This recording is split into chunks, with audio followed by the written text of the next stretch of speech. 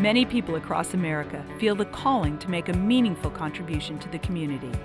They are looking for ways to give something back to those who they depend upon daily to protect our lives, our property, and our safety.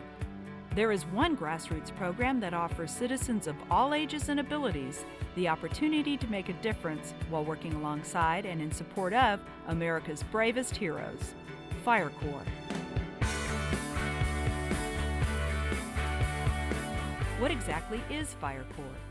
It's a national program that is part of the Department of Homeland Security, specifically operating under the guidance of Citizen Corps to build non operational volunteer support for our nation's fire and emergency service workers.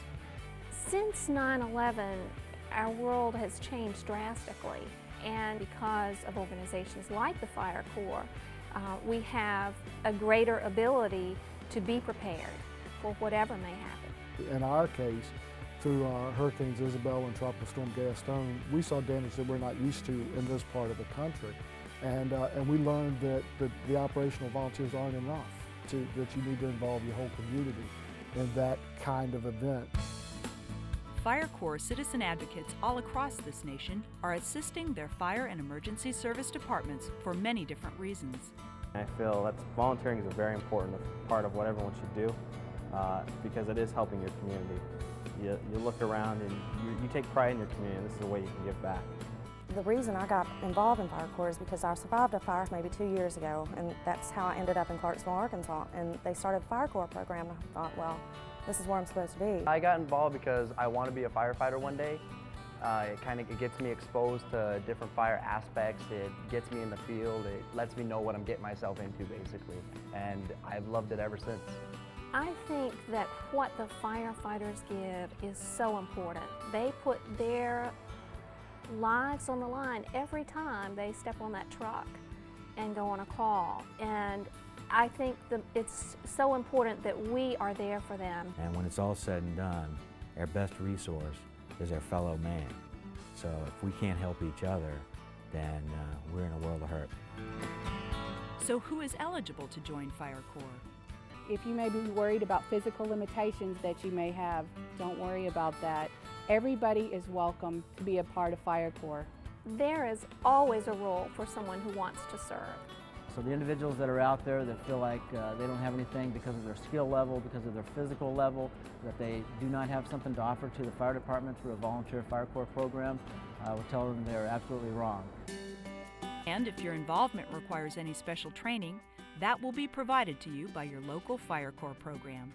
Well, when I first got involved, I was kind of nervous because Fire Corps kind of sounds like you have to, you know, have some kind of fire training. You don't have to worry about having training before you get here. We have monthly trainings with a couple of the programs.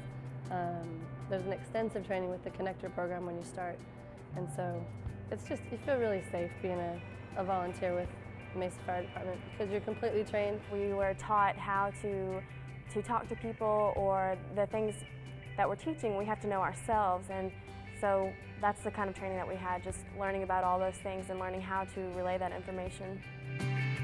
Fire Corps' role is to provide non-operational support in hundreds of ways that allow the professionals to focus more effectively on their primary job of saving lives and property.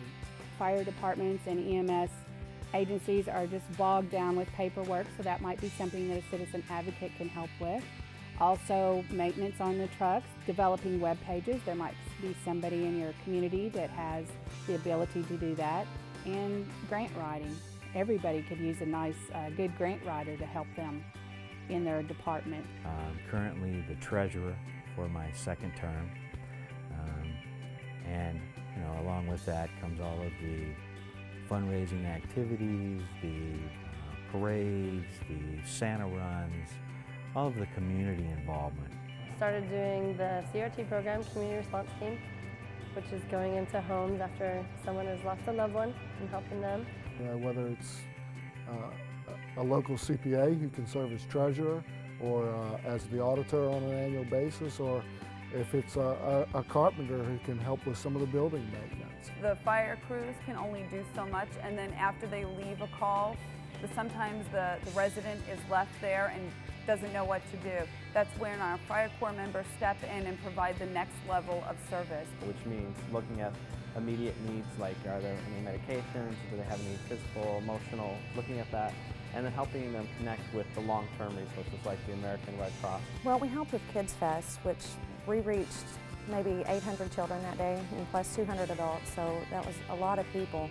And uh, we gave many, many different presentations that day. There's two different parades. One was the safety awareness parade, and uh, we had a we have a fire mascot, which is Sparky, a big Sparky dog. And I actually I got the chance to um, be Sparky and ride in the parade.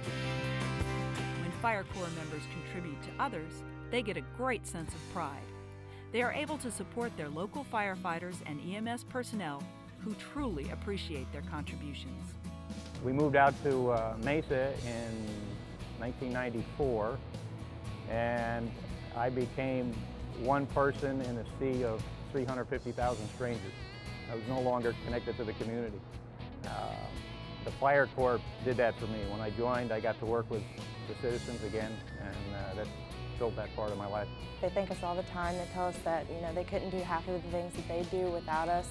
And it honestly just feels really good to have that kind of feedback from everybody. I get calls and letters on a regular basis from our, not only from our crews in the field, but from our office staff.